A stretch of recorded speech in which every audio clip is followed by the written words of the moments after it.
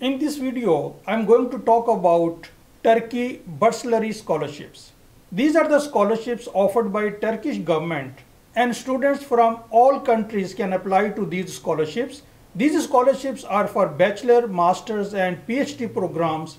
There are 5000 scholarships and it's a great opportunity for you to do bachelor's, master's or PhD in Turkey, which is one of the favorite destinations for tourists. So let's get started after a short break.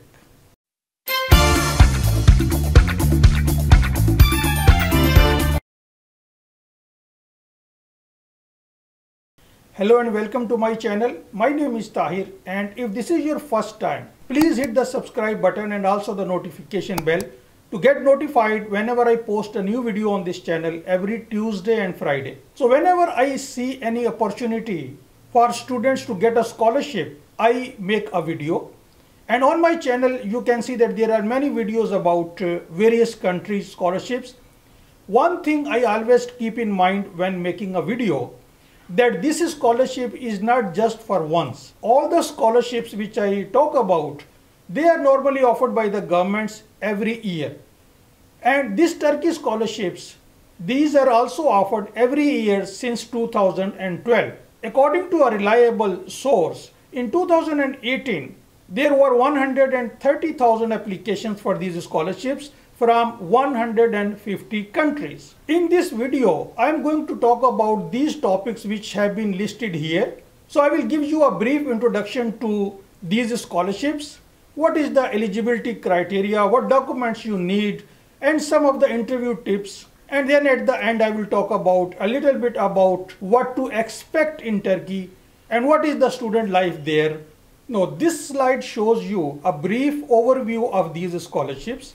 Although the major program is for bachelor's, master's and PhD, but there are some short-term scholarships are also available and we will talk about these in a minute. I have put some information on this slide, but then I will explain each of these scholarships in detail. Now, first let's talk about the bachelor scholarships. What are the benefits you get in this scholarship? So in a bachelor scholarship, you will get 700 Turkish lira per month as a stipend. Then you will also get full tuition fee for the university, free accommodation, return ticket and health insurance. You will also get scholarship for one year for learning Turkish language. Now let's talk about the duration of this scholarship. You will get one year to learn Turkish language and then four to six years further study depending on your course. Now the eligibility criteria is that you have to secure 70% marks in your HSC or diploma and you should be less than 21 years old. So students from any country can apply to this scholarship. And if you are in the final year, make sure that you will be graduated by September of 2020 if you are applying this year. And one thing to be noted is that the marks requirement for medicine, dentistry and pharmacy are higher and you need at least 90% marks in your HSC or any pre-medical diploma. Now let's talk about the master's program. These are the benefits. You will get 950 Turkish lira per month, free accommodation, full tuition fee, return ticket, and you will get one year scholarship for learning Turkish language and two years for your master's degree. The minimum marks requirements are 75% in your undergraduate and you must be less than 30 years old. And again, students from any country can apply and there are higher requirements for medical students. Now this is an overview of PhD scholarship program. You will get 1400 Turkish lira per month as your stipend and the rest of the benefits are same. You will get one year scholarship for learning Turkish language and four years for your PhD. The academic requirements are 75% and the age requirement is that you should be less than 35 years of age and students from any country can also apply for PhD. So this was a summary of three major scholarship programs, bachelor, masters and PhD. And now let's talk about some of the short-term scholarship programs available. So these are three different programs. First is called Success Scholarship Program. These are the scholarships where you can study your bachelor, master's and PhD only for one year in Turkey. And you will get these stipends per month.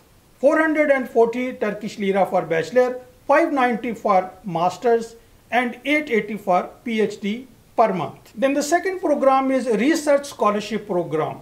You must be less than 45 years of age to join this program and you will get 3000 Turkish lira per month as your scholarship and you can avail this scholarship between a period of 3 to 10 months. It's up to you how long you want to do a research in any of the institute and the other institute will also give you a certain time period within this slot. The third short-term scholarship is Turkish language scholarship. You can get this scholarship between a period of 8 to 10 months. You will get 2000 Turkish lira per month as stipend. You will get accommodation and return ticket and the fee of your Turkish language program. Now, this is the list of documents you will need at various stages of your scholarship application. And in most cases, you will also need a Turkish language translation of your documents. And another important document for graduate student is research proposal. And you must understand how to write a good research proposal. I have a video about uh, research proposal step by step. You can search this video on my channel and uh, you will get some very helpful information. I have many other videos about graduate students like how to do literature review etc. and you can also watch those videos. I have listed all these documents here and you can stop the video and you can note these documents. There are few important things I would like to uh, mention here. The first is that your passport validity must cover your period of study. So it's a good practice to get a 10 years passport.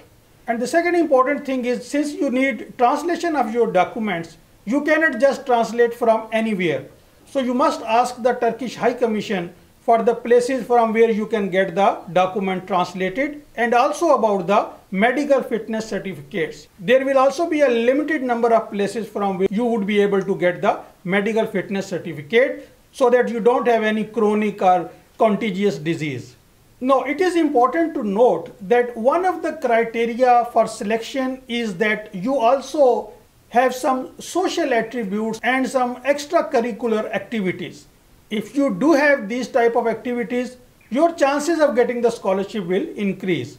So make sure that if you have some extracurricular activities, for example, you are good at sports or in any other activities, you must mention this and if you have any documents you must uh, present those documents with your application this will improve your chances of getting the scholarship now where to apply and when to apply so on this slide as you can see that this is the website where you have to apply so this is official Turkish government website as you can see dot .gov.tr. In order to understand when you should apply for a scholarship, there is a timeline available on this website. So the second link I presented here is the link to that timeline, time frame for all the scholarships. For example, bachelor, master. So they have slightly different dates. So, but all those dates are in the beginning of the year.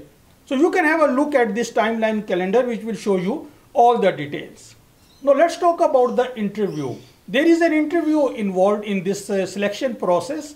So once you have been shortlisted for the interview, so you will be called to any particular city in your country because they don't arrange interviews in all the cities. So they arrange interviews in major cities. So major city of your country, they will ask you to go there and you have to bear all the expenses. You have to arrange your flight or train or whatever journey, how you want to go to that city. They will not pay for this. And in some cases, they might allow you to have a Skype interview but normally they don't change the date. So once they have given you a date, uh, they will not change it. You can try, you can uh, talk to the High Commission and for any other questions as well, you must talk to the High Commission in your country or in your city. So what happens in the interview?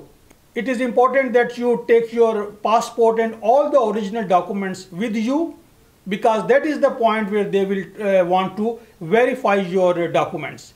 Even if you have not graduated yet, uh, you bring all the transcripts of your previous years to the interview. And there are three uh, main preparations you have to do. One is that prepare to talk about yourself. It's a common question, tell me about yourself.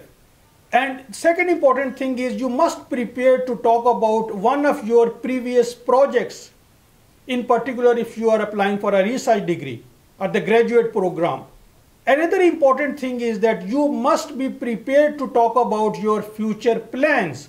For example, they might ask if you don't get this scholarship, then what are your plans? So you must uh, prepare a very good answer to this question. Similarly, as I mentioned earlier, you must highlight your social activities, your extracurricular activities, and above all this, you must show your interest in Turkish culture.